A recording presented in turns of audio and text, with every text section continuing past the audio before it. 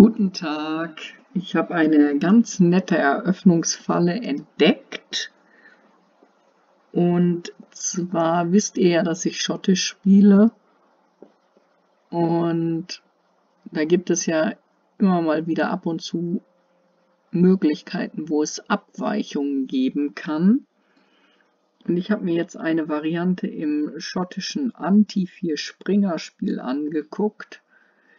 Ähm, persönlich empfehle ich eigentlich oder neige ich dazu zu empfehlen, dass man die klassische Verteidigung gegen Schotte spielt. Also jetzt hier nicht den Springer,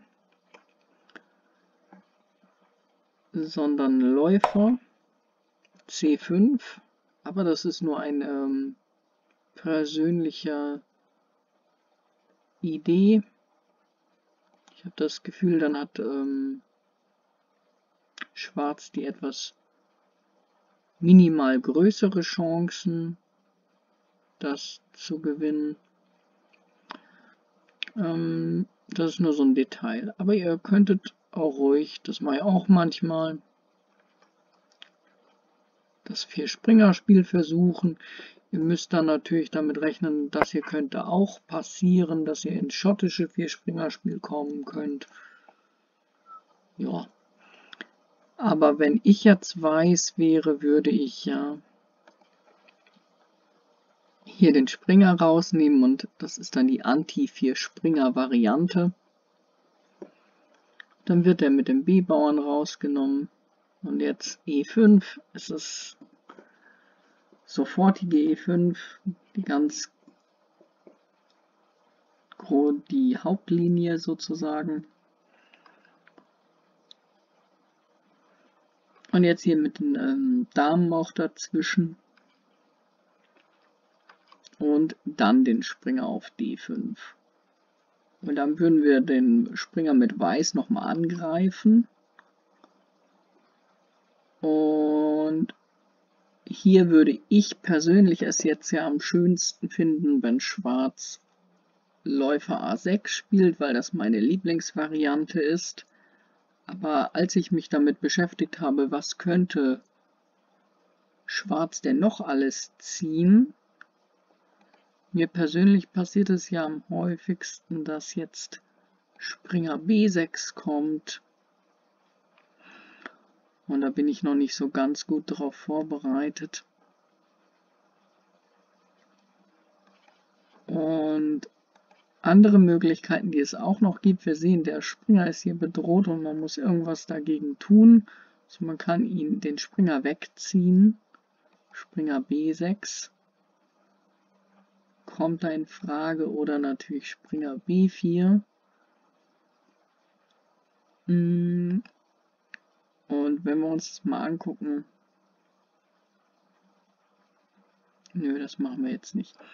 Ähm, und dann eine andere Möglichkeit darauf zu reagieren ist noch hier ähm, Läufer A6. Läufer A6 ist einfach die Idee dahinter, dass der Läufer den Bauern fesselt. Jetzt ist es quasi indirekt gedeckt, weil wenn er hier rausnimmt, kann Schwarz die Dame rausnehmen. sollte Weiß natürlich auf gar keinen Fall machen.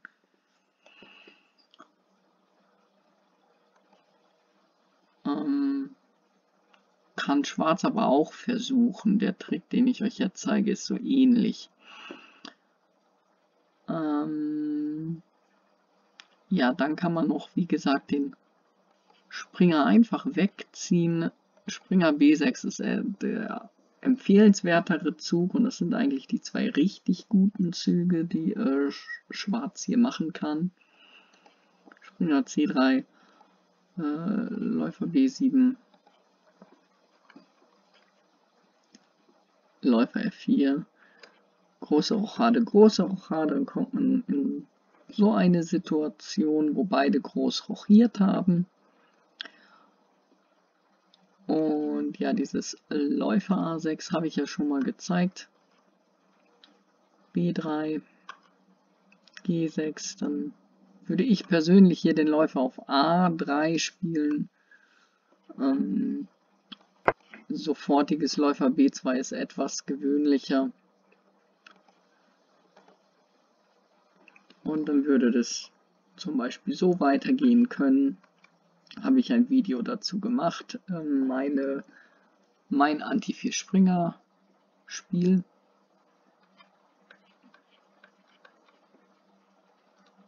Und dann haben wir so eine Situation, wo wir verschieden rochiert haben und wo Schwarz hier einen Dauerschach erzwingen kann, indem er mit der Dame auf A3 eindringt.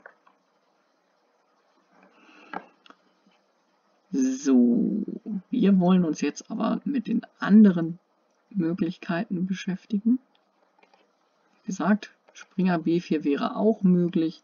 Der Springer steht da natürlich nicht wirklich gut und kann weiter angegriffen werden. Das ist so ein bisschen das Problem an der Variante. Und dann ein, eine andere Möglichkeit ist natürlich noch, dass wir hier mit der Dame Schach geben. Da muss natürlich Weiß jetzt erstmal auf das Schach reagieren. Aber dann stellt ähm, Schwarz einfach, Weiß einfach den Springer dazwischen. Und wir müssen den Springer trotzdem wegziehen, können jetzt allerdings sofort die Dame angreifen und ja, dann entwickelt sich das so weiter. Wenn man den Springer hier vielleicht haben möchte. Ich denke, das ist die Idee, dass man den Springer hier schön findet. Ähm, und dann war aber noch ein überraschender Zug dabei. Der tut scheinbar nichts dagegen, dass der Springer hier geschlagen werden kann. Und das ist natürlich immer das Gefährlichste, wenn das so aussieht, als würden wir nicht verteidigen. Ich habe ja eben schon gesagt, das tut auch der Läufer A6 zunächst. Wenn Weiß unaufmerksam ist, sieht das so aus, als wäre der Springer nicht gedeckt, aber dann kommt hier die Fessel. Ähm, der Spieß. Und wir können die Dame schlagen. Nee, ist es. Ist eine Fessel, Fessel. Kommt die Fessel, dann können wir die Figur dahinter schlagen. Darum geht das nicht. Es ist indirekt gedeckt. Ein so ähnlicher Zug ist was auch in dieser Partie gespielt wurde, die ich euch jetzt zeigen möchte. Dame C5. Das hat mich erstmal gewundert. Kann hier nicht einfach der Springer rausgenommen werden? Und das ist ein ganz, ganz schlimmer Fehler. Der ist noch schlimmer als obwohl, ob es noch schlimmer ist, als das mit den Läufer zu übersehen, weiß ich nicht. Aber es ist sehr schlimm. Und darum ist in dieser Partie auch ähm, A3 passiert. Schwarz steht jetzt nicht mehr unbedingt ähm, besser. Also Weiß hat schon einen leichten Vorteil auf jeden Fall. Aber dieser, diese Falle ist es vielleicht wert, das auszuprobieren. Ich denke gerade im Online-Blitz. Also mein erster Impuls wäre auch gewesen, hier zu schlagen. Allerdings besteht hier ja auch ein, eine Fessel. Der Bauer ist wieder gefesselt und diesmal noch viel ätzender auf den Läufer hier. Und das sieht zunächst sogar auch nur wie ein Tausch aus. Weiß denkt vielleicht, okay, ich kann das ja trotzdem versuchen. Aber der Läufer kann mit Schach rausgenommen werden. Und jetzt bleibt ihm nichts anderes übrig, als die Dame dazwischen zu ziehen. Hm, Im ersten Moment möchte Schwarz vielleicht hier rausnehmen. Das ist nicht der beste Zug. Der beste Zug ist, um einfach mit dem Läufer nochmal Schach zu geben. Und jetzt ist der beste Zug für Weiß Springer C3. Wobei es schon fast egal ist, was Weiß jetzt zieht. Wir können uns das ja mal kurz angucken, was die Alternativen sind zuerst. Also Springer D2. Dann können wir mit dem Läufer da rausnehmen. Dann muss der König wegziehen. Dann können wir hier rausnehmen und haben so einen ätzenden Abzug. Also der Läufer kann irgendwo hinziehen und der König ist automatisch im Schach. Das ist sehr ätzend. Wir könnten ja zum Beispiel hier die Dame vom Turm versuchen abzuschneiden. Und dann bleibt der Dame nicht viel übrig, als sich für den Läufer zu opfern. Beziehungsweise wir nehmen dann gar nicht die Damen vom Brett, sondern wir bedienen uns erstmal an den Turm. Weil der Turm dann ja nicht mehr gedeckt ist.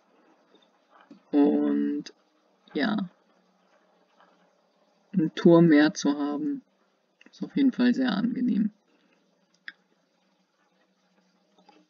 So, eine andere Alternative, vielleicht den König sofort wegzuziehen. Kann man machen. Dann holen wir den anderen Läufer.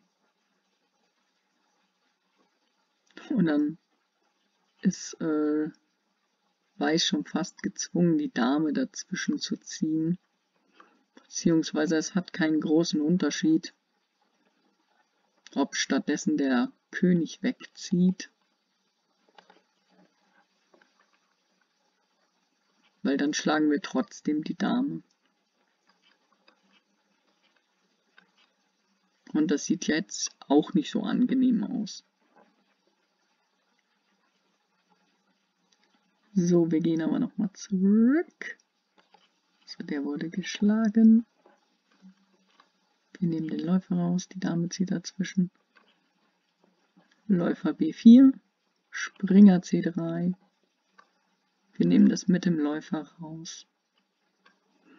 Und ja, natürlich kann jetzt der König hier wegziehen, aber die Frage ist ja immer, was bringt uns das? Wir können hier gleich den Bauern mit äh, Schach als Schwarz rausnehmen. Also das Beste ist tatsächlich den Läufer zu nehmen. Auch wenn jetzt natürlich die Dame sofort mit Schach wieder nehmen kann. Und wir einfach nicht aus dieser Situation rauskommen. Jetzt ähm, muss die Dame dazwischen ziehen, was natürlich ätzend ist, weil wir dann den Turm rausnehmen können muss die Dame wieder dahin. Ähm, Schwarz könnte natürlich die Dame einfach vom Brett nehmen. Müsst ihr wissen.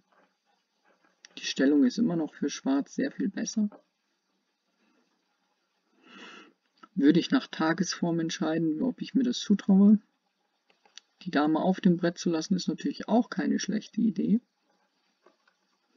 Und dann zum Beispiel hier erstmal den Bauern zu nehmen muss der Läufer dazwischen ziehen und dann können wir hier die Damen anbieten. Weiß will natürlich auch nicht unbedingt die Damen vom Brett nehmen. Weiß erhofft sich ja so ein bisschen, dass die eigene Dame vielleicht noch hier oder da ähm, eine Chance bietet einen starken Angriff zu finden, wenn Schwarz nicht aufmerksam ist. Darum kann sich Schwarz auch überlegen, die Damen tatsächlich aktiv abzutauschen. Dann rochiert Weiß vielleicht und dann verliert Weiß hier aber den nächsten Bauern. Und wir sehen, das ist alles nicht so schön. So, ich habe jetzt gesagt, die Dame muss dazwischen gezogen werden. Das könnte man natürlich bezweifeln, ob in dieser Situation tatsächlich die Dame hier dazwischen ziehen muss und den Turm freigeben. könnte man bezweifeln. Aber es ist deswegen nötig, weil Weiß ja nicht schachmatt gesetzt werden möchte. Also zumindest so ganz streng gegen den Computer ist es nötig. Man kann sich immer noch überlegen, ob man nicht darauf setzt, dass der Mensch vielleicht ein Mensch ist und dass man gegen einen Menschen spielt. Aber hier sind wir jetzt in einer forcierten, in einer forcierten Matt-Situation. Schwarz greift wieder auf seinen Läufer zurück. Schach. Jetzt muss die Dame dazwischen ziehen. Dem König bleibt kein anderes Feld mehr. Und jetzt kann der Läufer Schach geben. Jetzt hat der König ja hier ein Fluchtfeld. Jetzt kann der Läufer wieder Schach geben. Er kann geschlagen werden. Jetzt kommt der Turm dazu. Und ja, wir sehen schon, worauf es hinausläuft.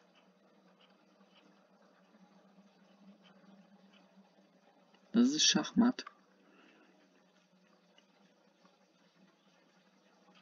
Also so ein ganz kleiner Fehler, einmal nicht aufgepasst.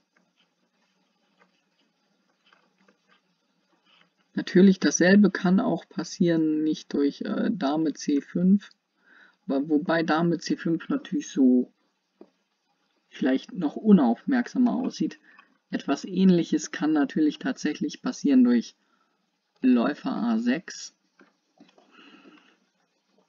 Ah, wobei ihr davon ausgehen müsst, äh, da Läufer A6 und Springer B6 tatsächlich die beiden Hauptvarianten sind, wie Schwarz darauf reagieren kann, dass Weiß da relativ genau Bescheid weiß, was jetzt zu tun ist nach Läufer A6.